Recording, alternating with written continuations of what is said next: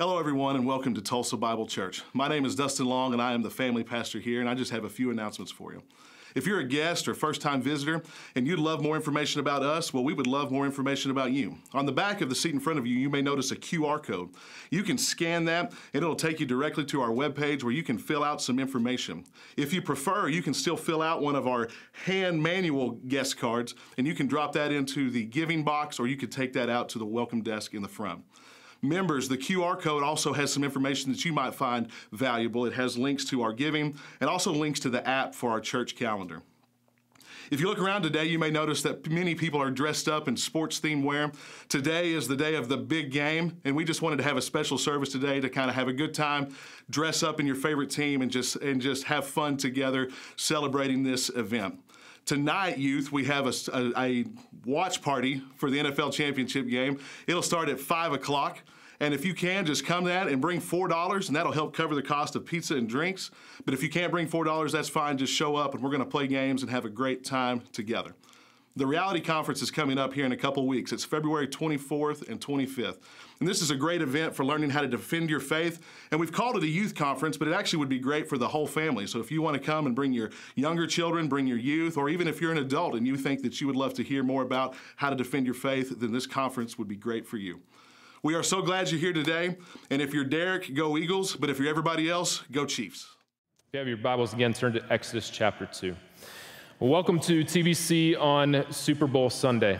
And this is the one week that we get to answer a lot of questions that we typically don't get to answer during the uh, Sundays that transpire during the year 52. There's, there's one here that's pretty special. And so all of us today are going to answer some really key questions, especially for football fans. The, the number one question that we're answering is who is the best team in the NFL in the 2022 23 season. Tonight will determine who that best team is. Another question everybody has is it going to be the um, Alabama turned OU, Oklahoma graduate, or is it going to be this guy from the Red Raiders of Texas Tech? Who's going to lead their team to the championship? Is Andy Reid going to take on his old team in Philly and get the victory over them? Uh, tonight we'll answer all those questions, but there's really one question that tonight's going to answer that's a little bit more significant, a little deeper, and a little bit probably more on the front of your minds than any other of those questions that we're going to answer. That one question is this Tonight, we might find out is Aaron Rodgers going to play next year for the Green Bay Packers?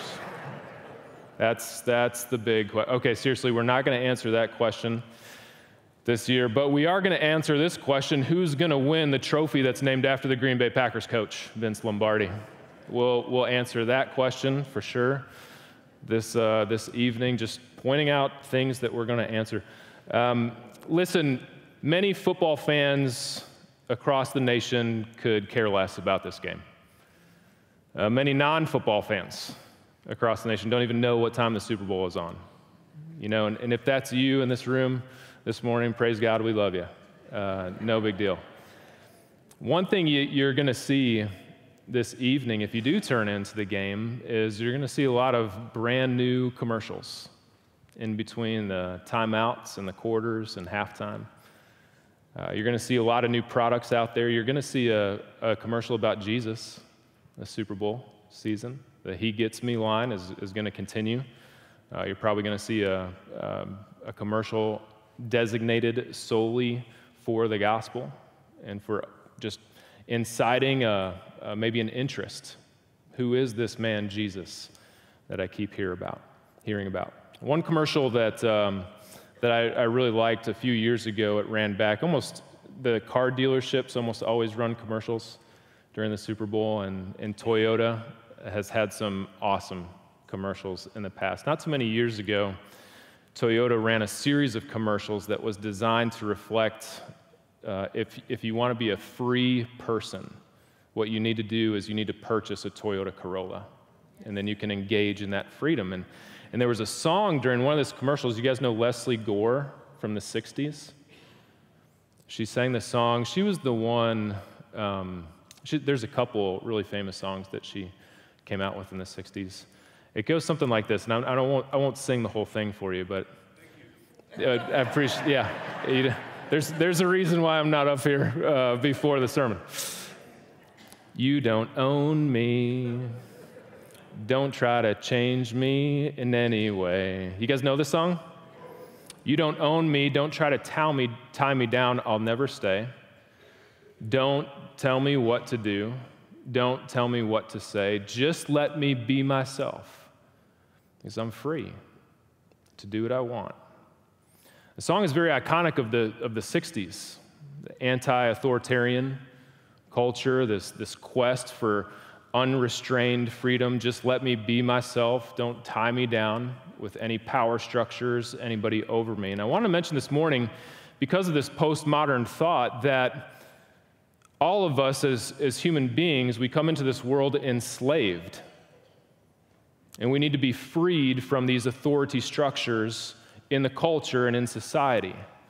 And really, if we want to be who we are truly designed to be, if we want to tap into meaning and, and pleasure and, and enjoy life and get the most out of life, our responsibility is to break forward into this unrestrained freedom apart from those authority structures. It's a, a slavery that many people don't realize is there, it's a, a subtle slavery. It's interesting, we're looking at the book of Exodus because Exodus also talks about slavery.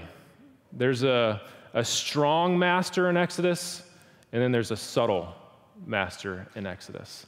And this morning, Exodus chapter 2, what I want to do is I want to kind of get past this idea. We, we have Pharaoh, we got Egypt, we've got this strong master. Israel is, is physically in chains and enslaved to the nation of Egypt. But there's also a, a subtle master underneath all of that. There's also another set of chains. It's, uh, it's much, mo- much more covert, it's invisible instead of being visible, it's spiritual, it's not physical. We just started a brand new sermon series through Exodus and a, a very familiar Old Testament story. And we're seeing how an entire people group was enslaved and redeemed from slavery. And when you, you can't read Exodus and not notice these harsh descriptions of the slavery, especially at the beginning parts of this book, Israel was set free from a ruthless taskmaster named Pharaoh. They could see their chains. However, in Exodus chapter 2, you see this this covert slavery. While they're physical slaves in Egypt, and it was an overt slavery that was visible, there's also a, a covert, invisible slavery in Exodus chapter 2. While the Egyptian slavery was physical, Exodus chapter 2 talks about a slavery that is spiritual. And probably the clearest passage to understand this and understanding sin in all of Scripture goes back to Isaiah 53, verse 6. And it says something like this all of us, like sheep, have gone astray. Each one of us has turned to our own way. Each one of us is enslaved to ourselves, to our will, our desires, our ways, our methods, our timing, our longings, our desires. This is the overt slavery that we need to be redeemed from as well. Uh, one man has said that the worst kind of chains are the ones that you can't see. The worst kind of chains are the ones that you can't see. If Exodus 1 was about a strong master, chains that you can see, Exodus 2 is about a subtle master, chains that you can't. And I want to I want to start with that in Exodus chapter 2, uh, verses 1 through 10. Look down at your text, and the first thing we're going to look at here is the example of overcoming a subtle master you're going to see a, a good illustration as Exodus chapter 2 opens up, and then it's going to move to a not so good one. Exodus chapter 2, verse 1. It should say this Now, a man from the house of Levi went and took as his wife a Levite woman. The woman conceived and bore a son, and she saw that he was a fine child. Now, your translations might say something a little bit different there as it describes Moses. Hang on to that. And she hid him for three months. Verse 3. When she could hide him no longer, she took for, for him a basket made of bulrushes and daubed it with bitumen and pitch. And she put the child in it and placed it among the reeds by the riverbank. And his sister stood at a distance to know what would be done to him. And we know for sure that's Miriam because of other places in the text, okay? And the daughter of Pharaoh came down to bathe at the river while her young women were, walked beside the river. And she saw that the basket among the reeds and sent her servant woman, and she took it. When she opened it, verse 6, she saw the child, and behold, the baby was crying. And she took pity on him and said, This is one of the Hebrews' children. Then his sister, Miriam, said to Pharaoh's daughter, Shall I go call you a nurse from the Hebrew women to nurse the child for you? And Pharaoh's daughter said to her, Go. And so the girl went and called the child's mother. Very significant. Pharaoh's daughter said to her, Take this child away and nurse him for me. I will give you your wages. So the woman took the child and nursed him. When the child grew older, she brought him to Pharaoh's daughter, and he became her son, and she named him Moses, because she said, I drew him out of the water. D.L. Moody described the life of Moses in three distinct blocks, three dis- definitive blocks of time. And he said this Moses spent his first 40 years thinking he was somebody. He spent his second 40 years learning he was nobody. He spent his third 40 years discovering what God can do with a nobody.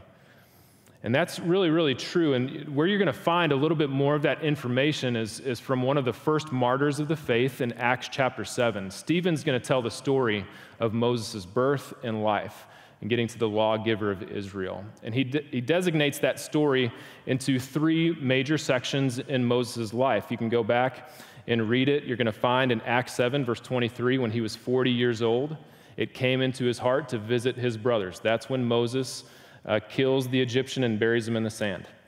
In Acts 7, verse 30, when 40 years had passed from there, an angel appeared to him. That's the burning bush account reveals to him the name of the Lord, calls him to go back to Egypt to redeem his people. And then Acts 7:36, this man led them out, speaking to Moses, performing wonders and signs in Egypt, at the Red Sea, and in the wilderness for 40 years. We got 120 years of Moses' life being described in Acts chapter 7 that fills in the gaps, a little bit of the details that we don't get here in Exodus, but we have it in the New Testament. It's Stephen who informs us that Moses might have been a little bit prideful in Egypt for at least three reasons. Uh, in Acts, you're going to read about this. It says that he was brought up as a son to Pharaoh in verse 21, Acts chapter 7. He was instructed in all the wisdom of the Egyptians in verse 22. And number three, he was mighty in word and deed. Moses grew up and he had everything that he could ever want. He had all the resources at his disposal that he could ever want. He had the best education that he, he could ever ask for. He had significance, he had security, and he had an identity with the most royal family, the highest up and the strongest nation in the world at that time. And none of those things are inherently wrong unless they're void of humility and brokenness, which seems to be the case for Moses. But before we get to the significant, powerful Moses, I want to talk about the insignificant, uh, marginalized women here in the text, as we're accustomed to see in the book of Exodus. We got more accounts of women. Immediately after chapter 1, it ended with a decree from Pharaoh You shall not let any of the Hebrew boys live, you shall send them into the Nile. Immediately after that is the birth story of Moses. And so we think that he's going to be one of these Hebrew boys that has to fulfill and succumb to this commandment from Pharaoh. And the text makes deliberate allusions, multiple allusions to Genesis. Okay, so when you look down in your text, uh, verse 2, that first phrase that I talked about when we were reading through here. The woman conceived and bore a son, and she saw that he was a fine child. Literally in Hebrew, it says this She saw that he was good. And that is a direct allusion to Genesis chapter 1. Remember the creation account? Day one, God created all those things and he saw that it was good. There was morning and evening on day one. Day two, created, separated, saw that it was good. Day three, saw that it was good. All these repeated phrases through the Genesis creation account. Then, verse three, she takes for him a basket. And that word for basket is the same word from Genesis chapter 7 that we see used of Noah's ark. She took and she prepared an ark. The basket is covered with pitch and bitumen, the same way that the ark is described as being covered before the floods came. as they sealed up the ark. Why all the references to Genesis? One reference points us to creation, Genesis chapter 1. The other points us to salvation, to deliverance, and also to judgment in Genesis chapter 7. The same God who called Noah is the same God who will call Moses. The same God who created all things is the same God who redeemed through Noah's ark, saved, judged, and delivered all in the same act. He has the right to redeem all things because he created all things. And again, we see this repeated pattern in the Old Testament. That what God has done in the past is a model and a promise of what he will do in the future, though he is too creative to do the same thing in the same way twice.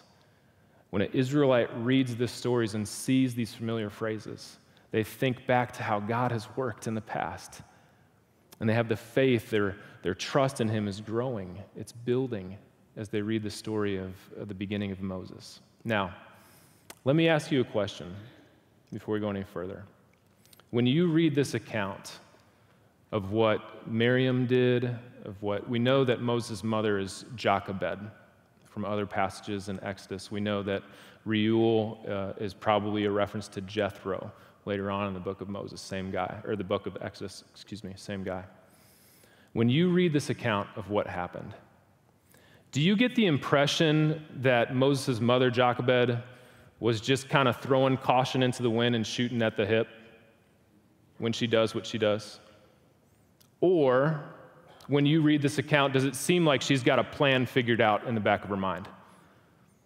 Does it seem like she's, she's put this together, that she's found the place where uh, Pharaoh's daughter is going to bathe and she knows exactly where to go?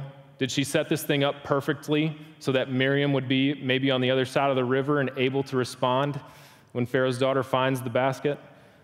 Doesn't it seem like things are probably coming together when you read this? I, I don't read Exodus chapter 2 and I don't see, okay, God, here's what we're going to do, and we'll just see what happens. When I read Exodus chapter 2, I read about a mother who deeply cares about her son, who is destined for destruction and death. And she cares so much that she puts together and rehearses this plan, and she knows it down to the finest details that she can even talk to her daughter about what to do and what to say, how to act when things happen. That she can set this whole thing up and know that, that maybe, just maybe, if they can execute this plan, they can trust God, He's going to work it out, and maybe Moses will be saved. I conclude when I read Exodus chapter 2 that Jochebed is walking by faith, but she also has a distinct plan in the back of her mind. And that brings up a couple points about what does, it, what does it mean to walk by faith when we read this story. Walking by faith, number one, it doesn't mean that you stop thinking, planning, or praying. Walking by faith doesn't mean you stop thinking, planning, or praying. Some of us have this thought that we're going to just throw caution into the wind. We'll see where the chips fall. We get to Christmas on December 25th and we haven't budgeted all year, and, and maybe we'll see what happens uh, Christmas time? No. Walking by faith means that you do think, you do pray, and you do have a plan for those times. It means that you're a good steward. A lot of us have an idea of walking by faith that's more along the lines of foolishness than it is along the lines of stewardship, careful planning, and wisdom. It's not faith that the Proverbs calls foolish, um, it's faith that's profitable, when you presume on God to answer in ways to uh, make up for laziness, perhaps, that's not walking by faith. Desperate times call for desperate measures, and it calls for walking by faith with a plan. Jochebed trusted God. And she acted as she trusted God. She planned as she trusted God. One of my favorite uh, biographies of Moses uh, mentions a, there's a, a famous cry during the Revolutionary War when you were lining up for battle across from the British. Trust in God, but keep your powder dry. Trust in God, but keep your powder dry. In other words, don't check your brain at the door. Don't stop planning. Don't stop thinking. Walk with the Lord with wisdom, with careful concern. And with the abilities that God has given you to think through situations wisely, shrewdly, ultimately for the glory of God. It's so important. Uh, number one, we've got a, a great example of what it means to overcome, to walk by faith, and overcome the subtle master of my own will and my own way through Jochebed, Moses' mother. Number two, how do you identify when you are um, succumbing to a subtle master? How do you identify invisible chains when they're there? I'm going to read the next section of verses here, and these are clearly delineated in your text, okay? Look down at verse 11. It, the storyline is going to shift now to Moses. Verse 11 One day when Moses had grown up, he went out to his people and he looked on their burdens, and he saw an Egyptian beating a Hebrew, one of his people. He looked this way and that, and that's a euphemism in Hebrew. Might pay special attention to it. Your text might say something a little bit different. He looked this way and that, and seeing no one, he struck down the Egyptian and hid him in the sand. And he went out the next day, and behold, two Hebrews were struggling together. And he said to the man in the wrong, Why do you strike your companion? And this man answered, Who made you a prince and a judge over us? Do you mean to kill me as you killed the Egyptian? And then Moses was afraid and thought, Surely this thing is known. When Pharaoh heard of it, he sought to kill Moses. Moses fled from Pharaoh and stayed in the land of Midian, and he sat down by a well. Now, if you and I were writing the story of Exodus, neither one of us would have put this, in, this story in here. We wouldn't have done it. And there's a reason why. When you, when you read this story, there are clear, there's a clear opening and there's a clear closing, and there's a linking word that brings it all together. And the first part, Exodus chapter 2, especially verse 10, you shall call him Moses because he was drawn from the water. You're going to see more references to being drawn from the water after this section that we just read, kind of towards the end. They function as bookends. And those two thematic words or those, those thematic phrases bring these two sections together. In Exodus 2 1 through 10, you've got the birth story of Moses. It's how Moses was saved. At the end of this chapter, Exodus 2 16 through 22, it's the birth story of Gershom and how the Midianite daughters were saved. The linking phrase again is, is that they are drawn from the water to put those two stories together. But right in the middle of those two birth stories and those stories of deliverance, right in the middle is the failure of Moses to save. And why did the narrator do that? Presumably Moses. Why did he put that in there? Neither one of us would have done that. I believe the writer wanted to do two things.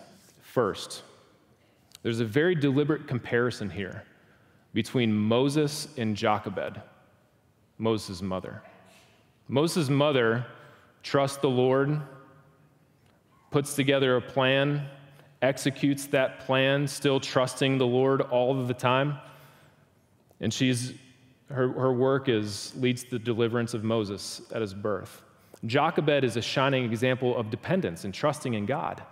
Moses, in this section, is an example of independence and trusting in himself. And I want to, I want to flesh that out for you. Uh, Alan Redpath has this statement. I've, I've probably shared it with you before. When God wants to do an impossible task, he takes an impossible person and he crushes them. Have you heard that before? Moses is the impossible person who's been called to do an impossible task. And so he's going to go through a process 40 years he's going to go into obscurity into Midian. And God's going to use that 40 years in an obscure place to show him humility, brokenness, and he's going to crush Moses to show him what it really means to depend on him.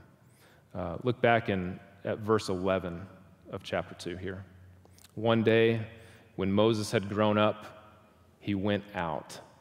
Okay, and you've got to know something about your Old Testament stories to understand what I'm about to tell you here. There are tiny phrases in the Bible that are used over and over again, especially in the Old Testament, when God calls a person to do a specific task. And usually, those statements, usually, those stories sound something like this uh, Genesis chapter 7. God remembered Noah.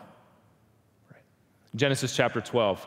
God said to Abram, Go Genesis uh, 32, God said to Jacob, God appeared to Jacob in a dream, wrestled with him all night long, changes his name to, to Israel, to one who strives with God. There are so many stories, there's so many great people who are called to do significant tasks. And here's the difference they all start with God and what he calls a person to do. Exodus chapter 2, verse 11 doesn't start with God and what God wants to call a person to do. It starts with Moses and what Moses wants to do. None of those callings are indicated here in Exodus, and there's some, there's some principles here because Moses is being overcome by a very subtle master. And the subtle master is, is his own self initiative, his own self will, his own desire to do this in his own way. All right, so how do you identify the subtle master of self will and self reliance? Number one, here's one thing to consider God's calling is never self initiated and it is never flesh energized. God's calling is never self initiated or flesh energized. Moses might have done the right thing, but it was certainly at the wrong time and in the wrong way. Instead of reading about God's call, what do we read about? Moses' catastrophe of taking this on in his own way. I want you to pay attention to, uh, to the pronouns and to the verbs. Look down at verse 12. Moses, he looked. Skip over verse 12. He struck down. Verse 13, when he went out. In the middle of verse 3, 13, and he said to the man in the wrong, Why do you strike your companion? This is all about Moses and what he is doing. There is nothing about God and what God has called Moses to do in this section. You might be succumbing to the subtle master of self will and self reliance if you're not listening to the voice of God and you're listening to the voice of yourself. Number two, you might be succumbing to this subtle master of your own self will when spiritual ends are achieved by carnal means. Spiritual ends are never achieved by carnal means in the Bible. When Moses takes matters into his own hands on his own terms and in his own ways, he is using his own carnal means to accomplish something that God wants to accomplish in his way without doing those things. Uh, one commentator put it this way I think this is really good. He says, When God's in it, it flows. When the flesh is in it, it's forced. When God's in it, it flows. When the flesh is in it, it's forced. And that's what's happening with Moses. Number three, spiritual leadership is God assumed, not self appointed. Spiritual leadership is God assumed, not self appointed. Did you see the euphemism in verse 12? He looked this way and that. Here's what that means Moses looked around in every direction he could horizontally, but the text never said that he one time looked up vertically. Moses was more concerned about who saw him on the playing field between men and women, and he was less concerned about who saw him who was sitting above in the heavens, the God of all gods who knows all things. Instead of looking around this way and that way, he should have been looking up and hitting his knees and asking God for direction and for what to do. Because he carried out his plan instead of God's plan, everything points to Genesis chapter 3. And the Adamic muscle, the strongest Adamic muscle in our body, is the hiding muscle. When we go on our own will and do our own thing in our own ways, we always try to hide what we've done, knowing that it is offended in all holy, all knowing, all perfect God in the heavens.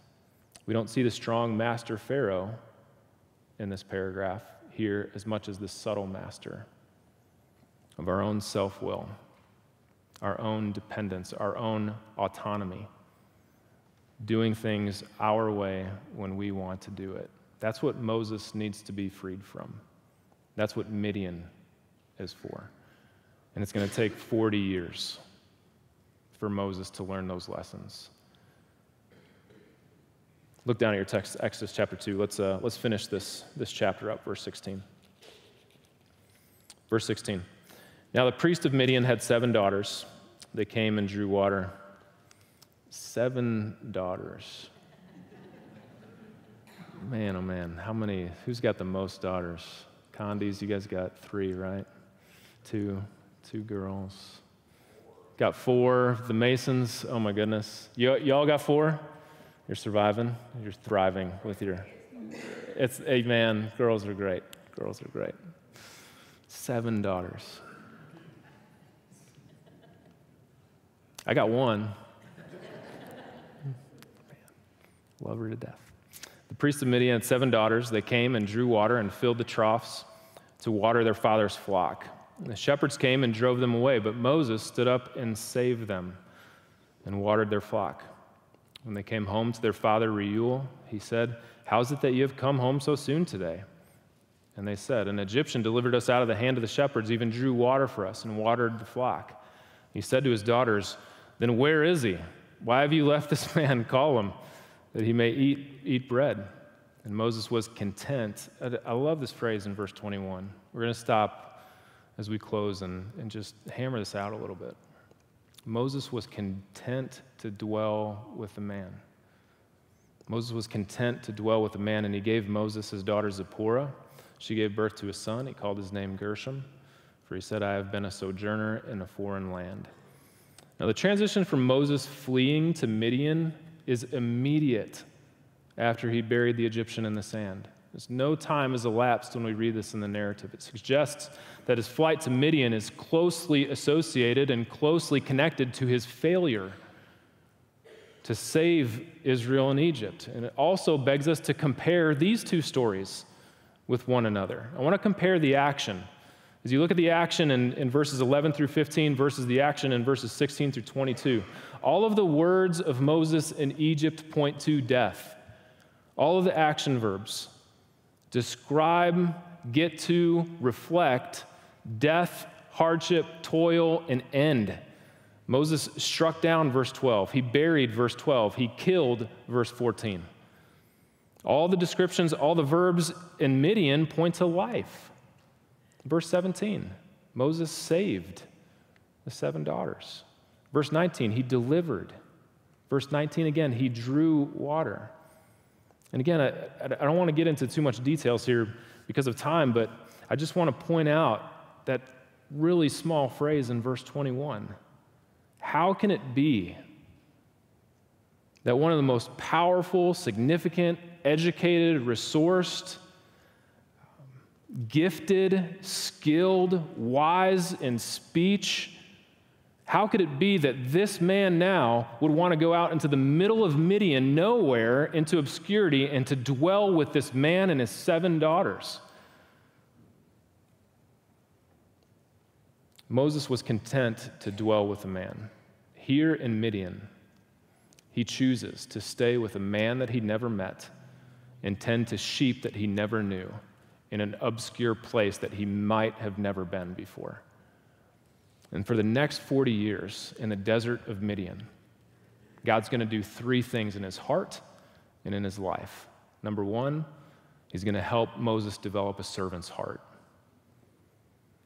In the deserts of Midian, Moses will develop the heart of a servant to do the tasks that nobody else wants to do, in conditions that nobody else wants to be in, doing things that nobody else is probably going to remember. Number two, he is willing to be obscure. As opposed to his time in Egypt, where everybody probably knew Pharaoh and probably knew Moses, nobody would know Moses in Midian. Nobody would know him in the wilderness and in the desert. Number three, he learns to rest and rely completely on God and nobody else. For 40 years, Moses is going to learn to develop a servant's heart, be willing to be obscure, and learn to rest and trust in God and in God alone. The passage in chapter 2 ends in this way. During those many days, the king of Egypt died, verse 23. And the people of Israel groaned because of their slavery and cried out to God for help, and their cry for rescue from slavery came up to God. When God heard their groaning, God remembered his covenant with Abraham, Isaac, and with Jacob. God saw the people of Israel, and God knew. Turn to Matthew chapter 2. Let's look at one, one passage in the New Testament before we close.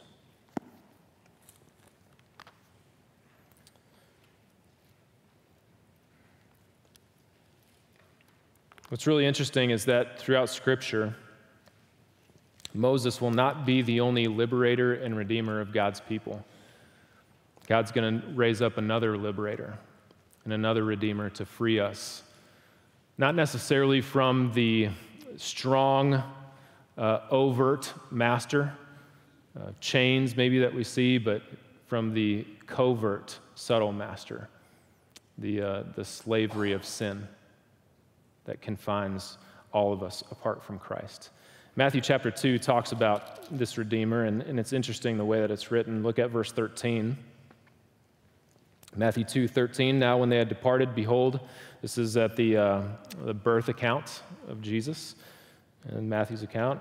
When they had departed, behold, an angel of the Lord appeared to Joseph in a dream, and he said, Rise, take the child, Jesus, and his mother, and flee to Egypt and remain there until I tell you, for Herod is about to search for the child to destroy him. You know, there's, there's two kings that try to destroy all the babies.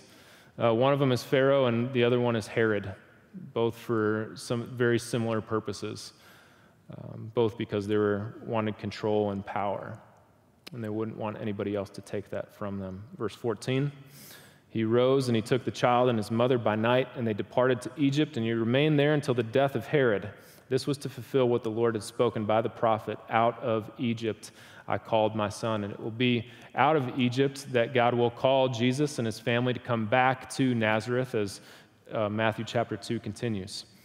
Just as Moses was called and Israel was called out of Egypt, so too, this one who is the perfect Israel, the one who fulfilled every area where Israel failed. Jesus was successful and Jesus was obedient. He too will be called out of Egypt. Everything in Exodus chapter 2 is perfectly fulfilled in Jesus in Matthew chapter 2. The slavery that the Israelites are delivered from in Exodus is a bigger picture of slavery that we are delivered from of sin through Jesus Christ. He is our Redeemer, He is our liberator. Similar circumstances, the Exodus king issued a decree. In Matthew, it's Herod that issues the decree.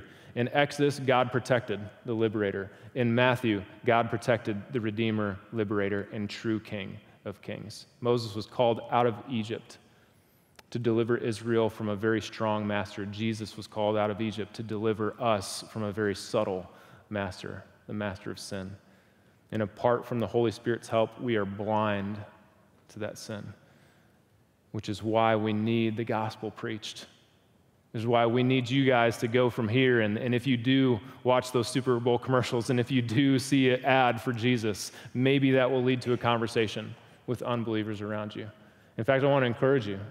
If you're doing that today at the game, if you go on and watch and you see this He Gets Me ad, I want you to ask people about it and just say, like, are you a believer in Jesus? What do you think about that ad? And see where the conversation leads. Maybe, just maybe, God will give you the opportunity to share the gospel through the Super Bowl. Maybe. And if, it, if that happens, I want to hear about it. It'd be awesome. As we close, let me give you two points. All right. Number one, God takes pleasure in magnifying the marginalized and honoring the insignificant. God takes pleasure in magnifying the marginalized and honoring the insignificant. Last week we said that it was absolute shocking who was named in Exodus chapter 1. These two women are named, Pharaoh is never, ever named. The trend continues in Exodus chapter 2. Think about this Moses is the great lawgiver in Israel. Moses was the mediator between God and man. When all the people were at the base of Mount Sinai, they all said, We cannot go up and talk to this God. We cannot meet with him, but you can, Moses. You have to go up for us. This is the man who was given the Ten Commandments from God.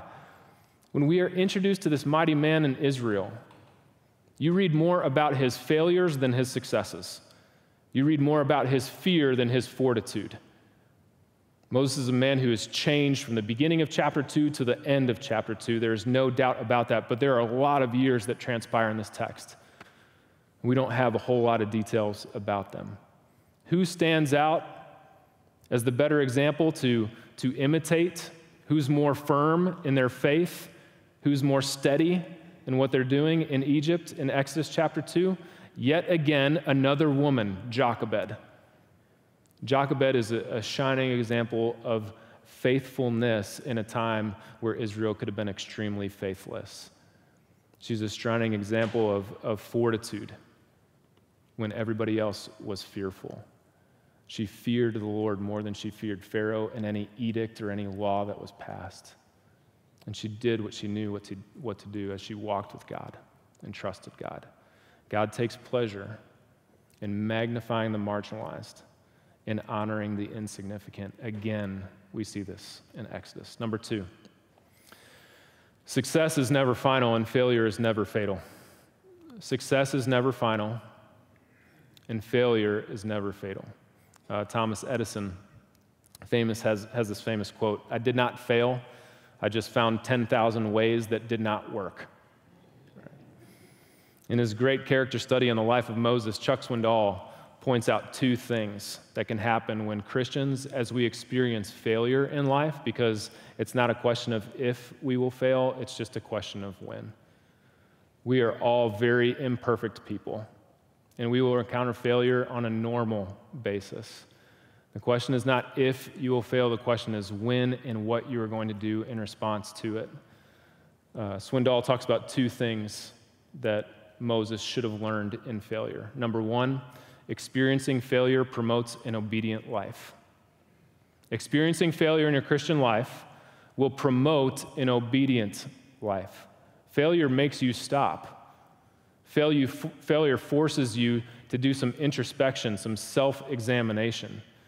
Failure reminds you that you are not perfect. It reminds you that God is God and you are not. God teaches us great lessons through the seasons of failures decisions that shouldn't have been made, actions that should have not taken place, words that should not have been spoken. And it's through those failures that God can lead us to a more obedient life, to think more carefully next time, to trust God more, to do the things that honor Him instead of doing it our way and on our timing. Experiencing failure prompts an obedient life. It also prompts, number two, Swindoll says, a teachable spirit. It was in the, the midst of the Nazi blitzkrieg uh, when Churchill offered one of his best definitions of success. He said, Success is moving from one failure to another with no loss of enthusiasm. Success is moving from one failure to another with no loss of enthusiasm. There's, there's so much truth to that, not only for, for leaders and, and principles of practical living, but also, especially, uh, for Christians in the Christian life. You're going to fail. From time to time, you push through those things. Without a loss of enthusiasm, you keep running after Jesus. You confess those sins, you repent of them, and it forces you to walk closer and closer to God. I wish there was another way. I really do for Moses. I wish he didn't have I wish he didn't have to go through 40 years in the wilderness. And maybe you're sitting out here and you're thinking, man, the 10 years that I just went through in Tulsa, I wish I didn't have to go through that, but I am so much stronger because of it. Maybe you have your 40 years of Midian somewhere that you can talk about, you could share with somebody else. God is in the business of breaking men and women of independence and increasing our dependence. He is making men by helping them learn dependence and trust on God. Even Paul had his thorn in the flesh. And he found out three times, My grace is sufficient for you. My grace is sufficient for you. My grace is sufficient for you. Psalm 51, verse 5. Psalm 51, uh, verse 17 is a great text on failures, sins, and how we respond to them. And it says something like this A broken and a contrite heart, God will not despise. He is always pleased with a broken heart that turns to Him instead of to self. So let's learn some lessons from Moses. Let's learn some from Jochebed. Let's keep reading Exodus and see what happens to Israel as this goes on. Let's pray. Father, uh, so many of us here this morning can likely identify with Moses, maybe a little bit too much, uh, speaking for myself. There's been far too many situations where I act too quickly. Um, I think my own thoughts before praying to you and asking for wisdom. I say things too quickly. Lord, I pray that um, all of us here we'll see the, the shining example of, of somebody gifted, talented, resourced, educated, strong in every way that you could imagine, and still yet not strong enough in Christ, not strong enough in God. Help us to, uh, to see those areas where, where we have failed, where you are teaching us the lifelong lessons of dependence and obedience to you, where we see your grace over and over again that we don't deserve and we could never earn. God, we pray that just as you continued to use Moses to do something incredible for your people, you will continue to use us despite our failures, despite our shortcomings. Give us the humility, give us the longing for a broken heart that loves you and that trusts you more than anything in our marriages, in our families, in our relationships, in our careers, in our workplaces. God, help, um, help brokenness and failure to form us into people who are stronger, um, more quick to prayer, readily dependent on you, no matter what the situation is. And we thank you for the great examples of, of Jochebed. We thank you for the examples of these um, midwife women that stand out in this text. Help us to realize that the insignificant are significant in your eyes. The things that people don't see, that don't know about, you see them, you care about them. Help us to walk faithfully as obedient um, followers of you on a daily basis. We thank you most of all for Jesus, who has forgiven us of, of every sin, Lord, and we have a desire to live for him. We pray that uh, you would draw us closer to him on a daily basis. And it's in the name of your son, Jesus, that we pray this morning. Amen.